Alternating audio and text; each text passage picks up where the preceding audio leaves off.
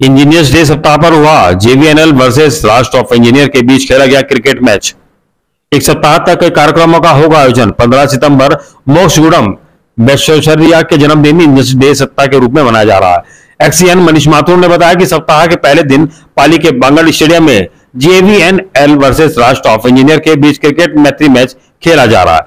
पूरे सप्ते में कई कार्यक्रम का आयोजन किया जाएगा, जिसमें कबड्डी का आयोजन होगा। और 15 सितंबर को इंजीनियर मोक्ष गुंडम विश्वेश्वरैया के जन्मदिन पर बड़ी धूमधाम के साथ मनाया जाएगा। ये आज जो प्रतियोगिता हो रही है क्या है? ये इंजीनियर्स डे सेलिब्रेट कर रहे हैं। डबल है डबल है डबल है। मैच का आयोजन किया गया है। कल आज जे और रेस्ट ऑफ़ इंजीनियर्स की टीम का मैच यहाँ पे बांगड़ स्टेडियम में मैत्रीपूर्ण मैच टी ट्वेंटी खेला जा रहा है। कल इंडोर गेम्स का आयोजन होगा। डिस्ट्रिक्ट क्लब में। परसों कबड्डी का मैच रखा गया है, जो कि माली समाज में प्योर नई मैटिंग के ऊपर होगा। तेरह तारीख को सभी इंजीनियर्स, में, फैमिली, अंतर्राष्ट्रीय का प्रोग्राम पावड़ा पैलेस में रखा गया है। और चौदह तारीख को टेक्निकल सेमिनार, जिसमें कि जो भी नए नए जो इन्वेंशंस हुए हैं, उसके बारे में सभी को जानकारी दी जाएगी। और पंद्रह तारीख को हम जो भारत रत्न मोक्ष गुंडम विश्वेश्वरैया जी का जन्मदिन मनाएँगे। इसके लिए पूरा प्रोग्राम आयोजन किया।